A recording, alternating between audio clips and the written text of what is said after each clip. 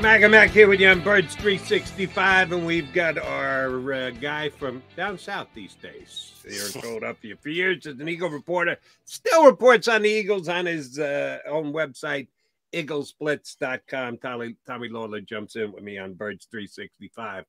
Uh, Tommy, I'm going to set the over under rushing yards for D'Andre Swift at 174 and a half since he had 175 last week. You taking the under or the over? Oh, over for sure, of course. Yeah, not, not, not, not likely, my friend. I got some beachfront property in Nebraska. I want to sell you. I'm gonna go. I, I'm gonna put uh, a more legitimate number. See how how we can go. I'm gonna. I'm gonna say 50. Give me over or under, Tommy.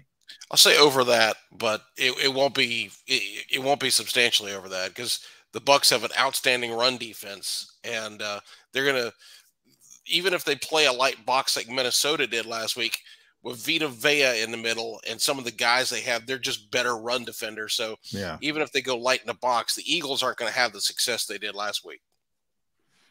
Your thoughts on Brian Johnson, Tommy, to date? Because I I was pretty impressed last week. The Eagles obviously came into the game with a with a game plan and it wasn't working.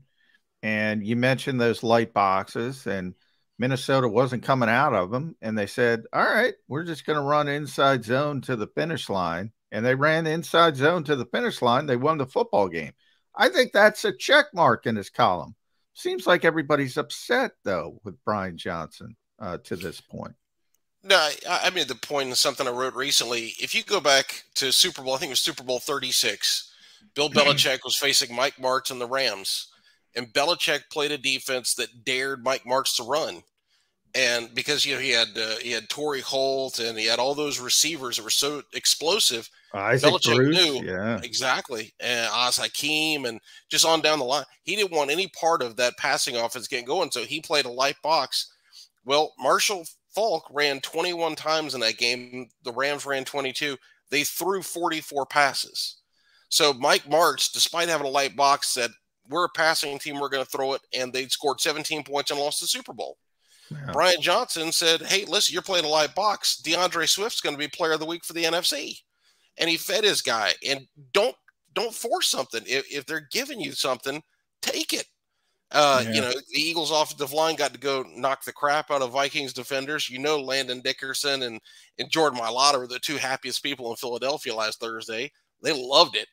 And then D'Andre Swift just kept running and running and running, and Minnesota couldn't stop him. Why would you stop him yourself? Make them stop him before you change it. So that's good coaching.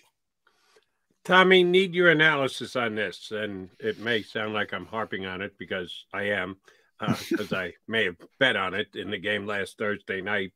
I went Dallas Goedert yardage rather than catches. My mistake.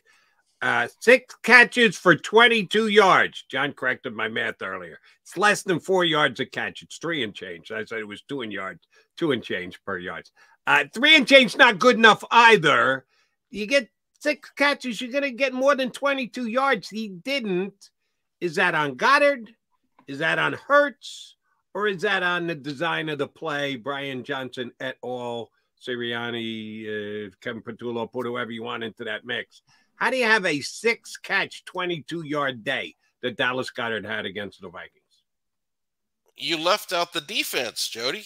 Uh, the Vikings, when they would drop back six, seven, eight guys, they'd said throw it, drop it off to somebody short. And when we dropped it off to somebody short, the Vikings were there to make the tackles. Goedert could not get going in space. There was always defenders right there on him. So give the Vikings credit. They, they had a, an unusual scheme that they ran.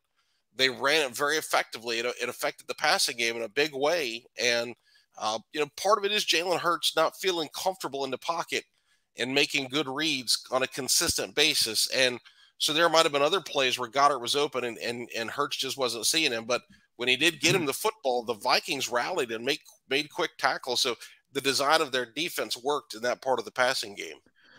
Yeah, I mentioned Brian Flores a couple times over the past week and a half, and and Jody knows I'm a big fan of, of Brian, and um, he does stuff. And the reason I like him is because I like I like uh, unique people. I don't like copycats. Like I don't like the Fangio defense because everybody plays it. I don't want the copycat. I want the guy who's going to do things differently. The so-called, you know, zig when everybody else is acting. Now you got to be successful at it as well. But from the sure. Eagles standpoint, I think you know they're not going to see what Minnesota did. Like he does some wacky stuff. I put he he leads the league in blitzes, and he also leads the league in eight man coverages, which is right weird beyond belief. No, it's very weird, yeah. Perspective. Um, so I think Jalen's going to get more comfortable. Jason Kelce called it chaos this week. They were throwing chaos at us, and I do think it was a little bit unsure but I have some comfort that you're not going to see that every week. So things are going to settle down. And I think he's going to settle down. Or do you have more concern over Jalen's early play? No, I think your point is exactly right. So I think uh, Bill Belichick in the season opener did some creative things defensively. Flores did very creative things defensively. That was a highly unusual defense. And I think we're going to see more of that on, Monday night with Todd Bowles. Again, another coach who can kind of do some unusual things. So this is this is good, right? You want Jalen Hurts to be tested. Uh, as much fun as it is to watch the Eagles drop back and just destroy people, uh, and trust me, t- 2022 was a lot of fun, right?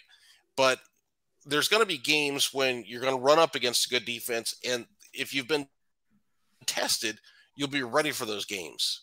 And the Eagles, sometimes last year with things being so easy, weren't always ready for those tests. So I think this is good for them to work through this to be better prepared for down the line uh, when they're going to face some, some defenses that are, that are good that may not be as uh, creative, but are still going to make life tough on them. The Eagles need to be able to have answers, uh, whether it's to run the football, to throw short, to throw left, to throw right, whatever they need to do, they'll be able to have more answers because they've been tested and they've had to be creative and and, and do some different things in these first couple of weeks. Uh, Jalen Hurts has got to get better. There's no question, but really from week one to week two, because it was such a short week, they didn't have much of a chance to correct problems from week one. Now they've had an extended break, so I'm really curious to see how Hurts plays on Monday, because the coaches have had time to study what they want to see improved, to look at the Bucs defense, to to fix the Eagles offense. So Monday is going to give us a better barometer of where this offense is in my mind. Tommy, uh, through two games, the Eagles are plus four on the turnover ratio scale.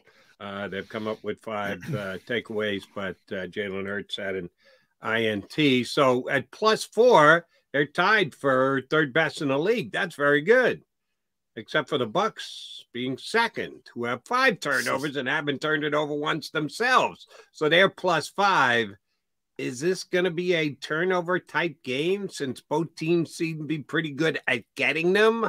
Uh, the Bucs have not given one up yet. Uh, the Eagles have been a team that's always tried to be aggressive, uh, despite uh, Gannon being their head coach. The side's been a little bit more aggressive.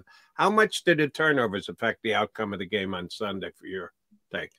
Well, if you look, the thing that both teams have in common is that Minnesota gave yeah, the football to both of exactly. them. Exactly. Yeah. Three turnovers. They're giving the away the football. They're very generous of Kirk Cousins and the Vikings. Uh, three turnovers to, to, Tampa in the opener and four to the Eagles in week two. Uh, so whoever Minnesota plays this week, I guess we'll be looking to get five. Um, and they should, That, by the way, the Eagles should add five, but Kentavious Street was offside, lined up oh, offside yeah, when yeah, and Mario talk about Goodrich a useless offside fumble. Yeah, uh, and really, you know, uh, Jayla, excuse me, Darius Slay had a chance for a couple of interceptions. The, yeah. They, the Eagles could have had even more. They could have had a wild six, seven inter, uh, takeaway game, but they, they got four, which is still pretty darn good. Um, the Eagles have been very opportunistic on defense. So have the Bucs Again, both both teams did well by playing Minnesota. So it'll be interesting to see. You know, the, the Vikings have done a better job protecting the football. They've also played a couple of defenses that aren't exactly compelling. Minnesota, we just saw last week, is not exactly Chicago, not exactly the '85 yeah. Bears. And speaking of the Bears, um, oof, oof. you know, I don't even know what to say about the Bears at this point. So uh, that's a bit of a mystery, right I, there. I don't like, you know, I'm sure Ryan Poles is a nice man, but I I would, uh, and when I watch Jalen Carter play, and I say that team passed on him twice in essence because they could have taken him at number one overall. But I understand why they didn't take him at number one because of the off the field issues and all that stuff. But then they dropped down and they could have had him again, Tommy, and they were still afraid. And all of a sudden he he he lands in the lap of the Eagles, and boy, he's been impressive. I I I'm concerned about the secondary as a whole, not the corners of the outside corners, obviously, but the secondary as a whole. But this pass rush, and a lot of it is, by the way, Javon Hargrave is doing a tremendous job with San Francisco. People saw him play last night. And the. Eagles got better. I'm I'm gonna say it right now. The Eagles got better than Javon Hargrave. That's how good Jalen Carter is he is a stud. There's absolutely no question. And the, the pick looks right now looks like a phenomenal pick. And the Eagles are loaded up front. Teams are firing the ball out quickly, so we haven't seen a bunch of sacks. But you know, Kirk Cousins, go back and rewatch that game. He got knocked to the ground hard quite a bit. That's that's every game for poor Kirk. Yeah, that's, yeah, that's even Kirk. worse. yeah, even worse. Yeah, he's and, a uh, guy, man. I will so, give him that. Oh, absolutely. I'll listen. I'll never question his toughness. There's no question about that. Um, yeah, the Eagles, the Eagles are punishing quarterbacks right now, even though they don't have a great sack total. They're getting some big shots on guys, and uh, it's fun to watch. And, and, the best part about it is, aside from uh, BG and, and Fletcher Cox, these are young guys you know. Yeah. And this this front front seven is going to be good for a while because you're going to see guys like Nolan Smith start to get better. Carter's going to get better. We've already seen Davis get better from last year. Uh, you got backups like Tui. You know he's going to get better. Milton Williams is playing good football. So there's a lot of bodies up there, and the Eagles. This front seven didn't go anywhere for for a while, and it's not just one dude; it's a group that they've built, and uh, that's what gives you real hope this could become a, a really good defense in the next few years. And then Tommy, there's linebacker, where they're using a guy who they picked up off the street, had all off season to sign, couldn't find himself a job till into preseason, and Eagles bring him in from camp, and he's going to start his third consecutive game. Then they have a linebacker that they thought so highly of. They released him in preseason, cut him, no guaranteed money. See you later. Bye, Nicholas Morrow. And then when need be, luckily he's still out there on the street. They re-sign him, they throw him into the starting lineup, and they give him the green dot on his helmet. It's not exactly the same. The Eagles linebacker position isn't exactly the Eagles defensive line, as you just ran down. Good, deep, young. Eagles linebacker positions. Journeyman questionable. I got no idea what they're going to do for him this week. How uh, questionable should we be? For the Eagle linebacker position right now? Well, I actually thought Zach Cunningham played pretty well against the Vikings. Uh, he was a good run defender. So let me ask you a question, no, Tommy. Yeah, for sure. Like Go ahead.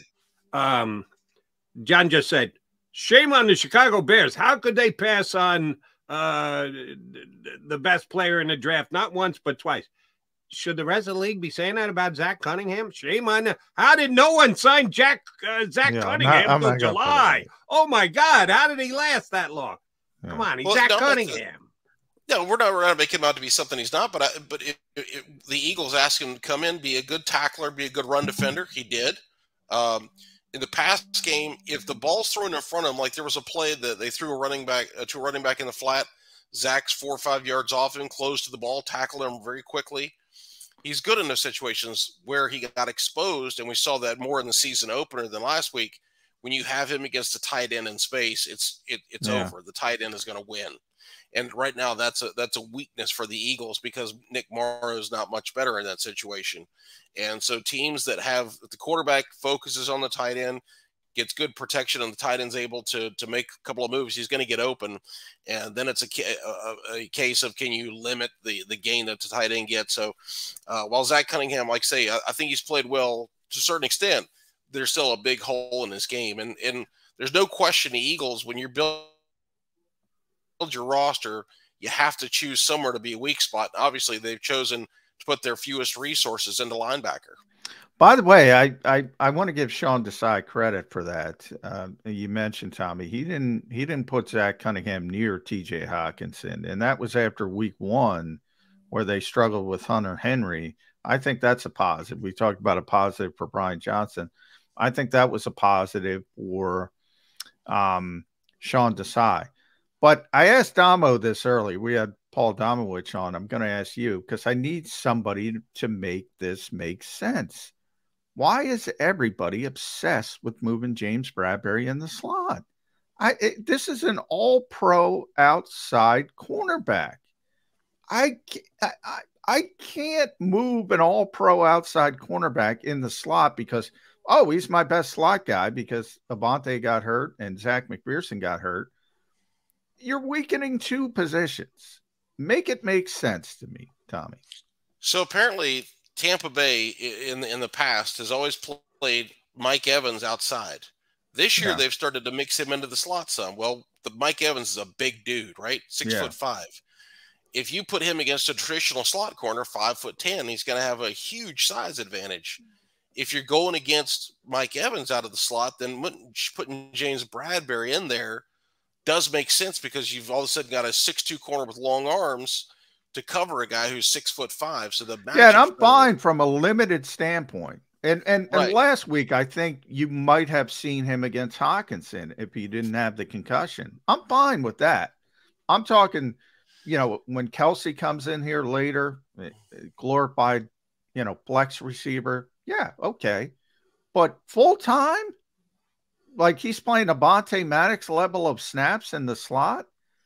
Yeah, the only reason you do that is if you feel that strongly about getting Josh Jobe onto the field at outside corner because you're, you're, you're saying to yourself with with Avonte Maddox out, we don't like our backups in in the slot very much. Let's move Bradberry in there, and we do like our backups on the outside better. So that that's why you would do that. Um, Mario Goodrich obviously struggled in in the in Thursday night's game. Uh, hopefully, he'll be in a better situation this week, knowing he's going to play, being able to really prepare and get ready. Plus, he's had got some snaps under his belt he's he's seen what it's like to be on the field in, in a real game. So we'll see if he's able to learn from that. But yeah, there may be something they like about it that they just haven't talked about.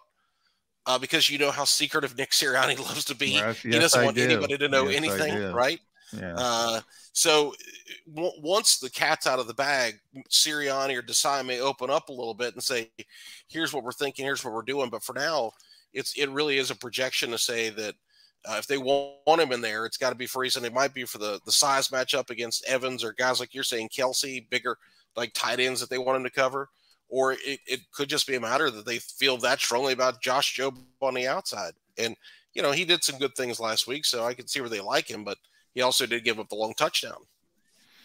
All right, yeah. Tommy, I got a hypothetical question for us. And most people hate my hypothetical questions, including everybody here on the stream. Always kills me for my hypothetical questions. Uh, but sorry, I got to ask it. If Jake Elliott misses a 45 yard field goal, aka a very makeable one for Jake in this game against Tampa, who's going to get the blame? Jake, the new holder, Howie Roseman for bringing in a new holder, aka a new punter, where will the Eagle fan angst go if Jake Elliott makes misses a makeable field goal this week? Well, I know I'm going to put it all on Jody Mack for bringing it up ahead of time. What yeah. a jerk! Yeah. All right, fine. Everybody hates me. Hey, join the club. Uh, and they'll they'll crush I mean, me here on the screen. About, you might as well talk about bad them, karma. Tommy. What's up with you, man? yeah. I, I, am not here to serve karma. I'm Listen, here to. Uh, by the way, somebody said is an important points. Somebody said we're talking about holders. They have a. Uh, we've been talking about holders all stinking week. Where you been? Uh, yeah, holding uh, is a bigger thing than people realize, Tommy, because these kickers can be sensitive creatures, uh, and when something is is turned a different way, I bring it up in the preseason. Jake missed one kick and I told Jody Ty Zentner was the holder. and by the way, I looked at it backwards and forwards. It was a solid hold. He missed the kick. Um, so 46 yarder. Why'd he miss the kick? He probably wasn't comfortable. He's used to Siposs, got a different guy. All of a sudden, eh, it might be an issue, but it's only an issue well, if you miss one. Right. Michael Clay did mention that uh, that Braden Mann and and uh, Jake Elliott work out some in the off season together.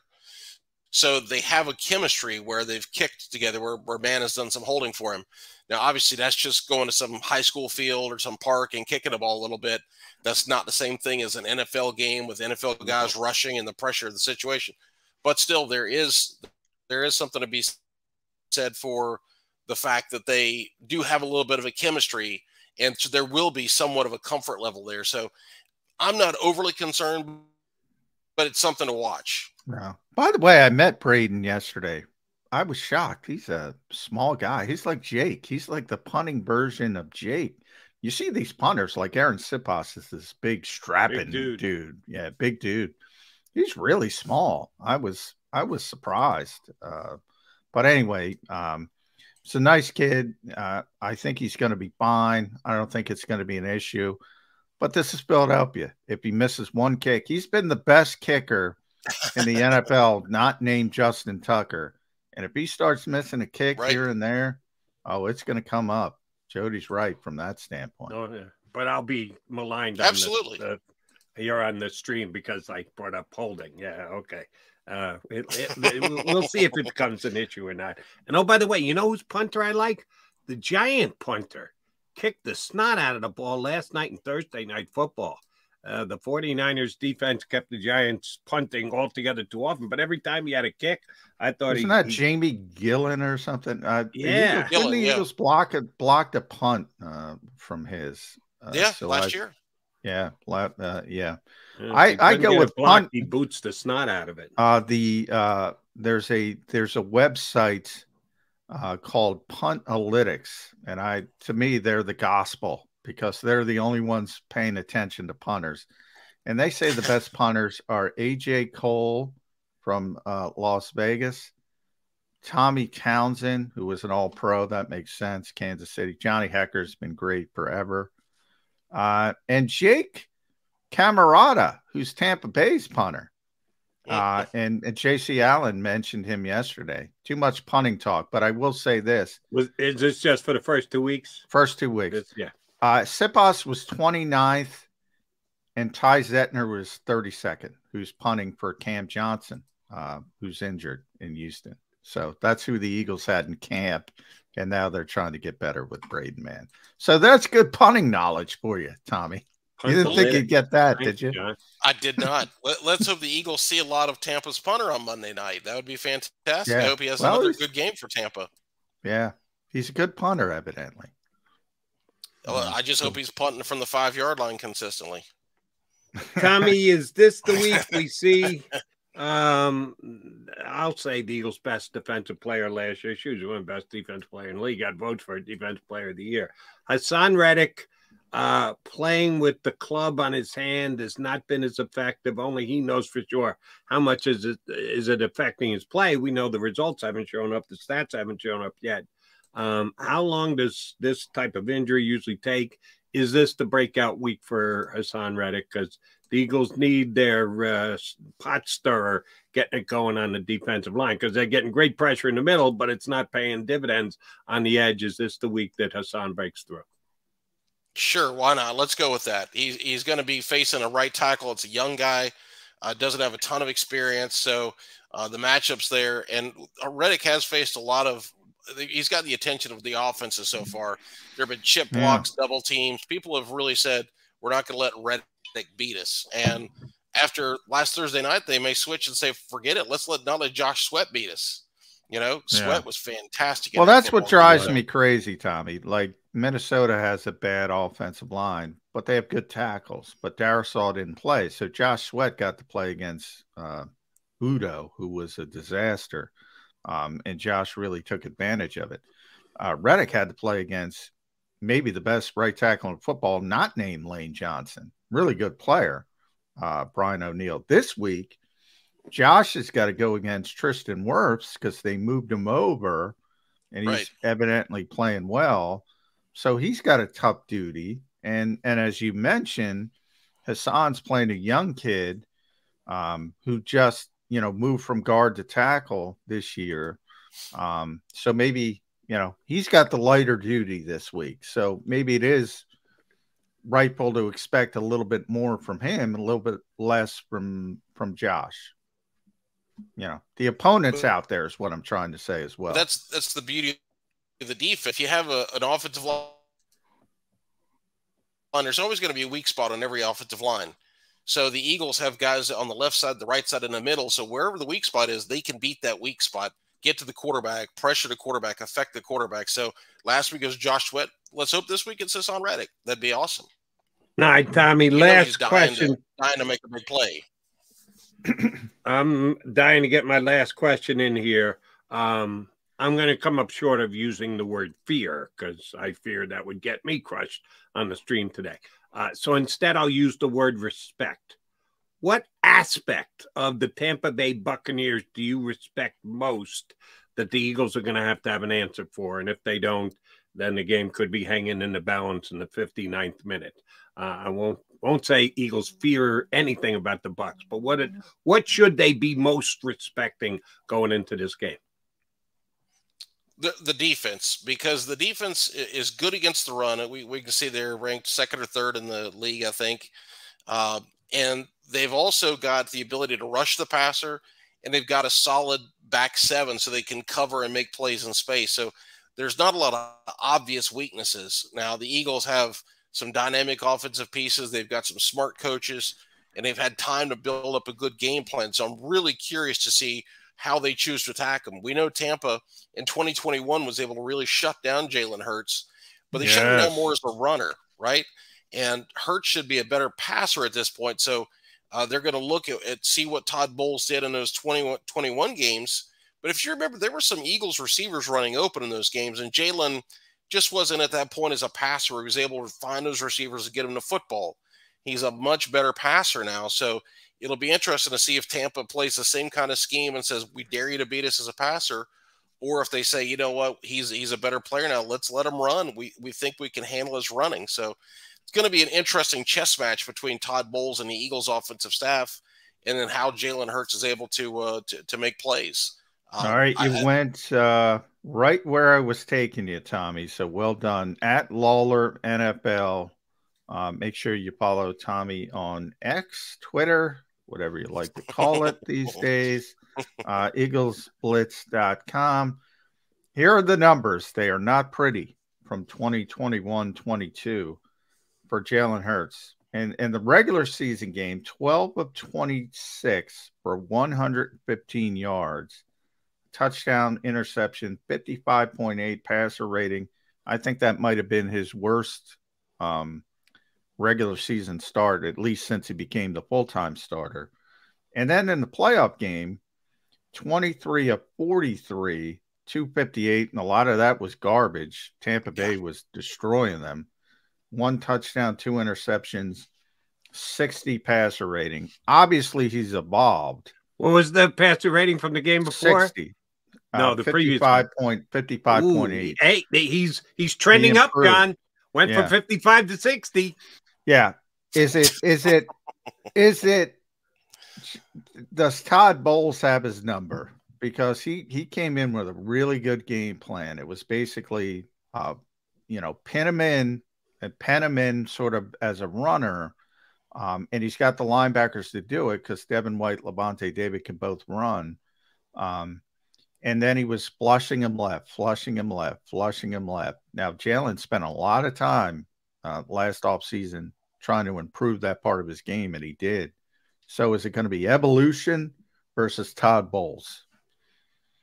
Uh, I'm, I'm going to take Jalen Hurts uh, with his physical talent, his work ethic, and his drive.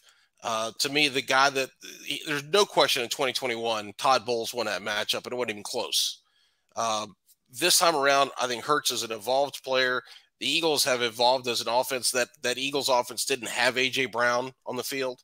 Yeah. Um, so you know, D'Andre Swift is a more dangerous runner than Miles Sanders. I think we all probably agree with that. So the, the Eagles have a better core of players. They have a more more experienced quarterback, and a coaching staff's also been together. This is year three for these guys. So I think they'll put together a good plan. Listen, the Eagles are not going to go score 38 points and have a wild game. Tampa Bay, I think, is too good defensively, but the Eagles should win this game, and Jalen Hurts should be able to make enough plays to lead his team to the victory. And uh, uh, I don't think we'll see a quarterback rating in the 60s. All right. Uh, yeah, I'm going to go over on the 60. 55, 60, 65. I'll go over, over. 65. Go over. That's how confident I am in Jalen having a good game on Sunday. All right, Tommy, want to give us a score on the game? You want to take a poke on a score? Eagles uh, against the Bucs? 27 17 Eagles. Yes. Well, kind of like that. I'm going to be in that same neighborhood, I would think, on Monday. Uh, Tommy, we always appreciate it when you do hop in. That's Eagles, I G G L E S Blitz.com. Uh, puts up three or four posts a week, insightful, both before and after the game and leading up to it. Tommy, appreciate you jumping in here today. We'll get you back in a couple weeks, big guy. Great to talk to you, fellas. Thanks, my, Tommy. My pleasure. Tommy uh, Lawlor, former Eagles beat guy, now doing it from afar, but he stays right on top of all the Eagles stuff that's coming down. Appreciate him jumping in here. All right, McMullen and McDonald, you know we got to do come back. Put a bow on the show here on Birds 365.